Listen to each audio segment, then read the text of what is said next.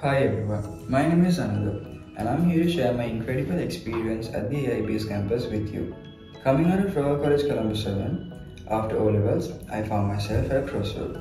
I wanted a path that would allow me to fulfill my interests and provide me with a solid foundation for my future. That's when I discovered the Ontario Secondary School Diploma, the OSSD program exclusively delivered at the AIBS campus. AIBS campus was like a breath of fresh air for me.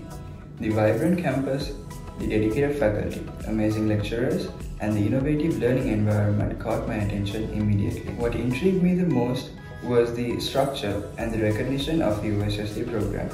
Studying the OSSD program at the AIBS campus was a game changer for me. It went beyond textbooks and exams, focusing on practical and critical thinking skills.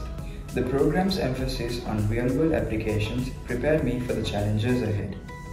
Successfully completing the OSSD program opened doors that I never imagined.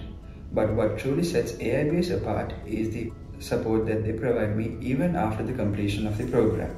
AIBS not only equipped me with knowledge, but they guided me throughout the whole next step.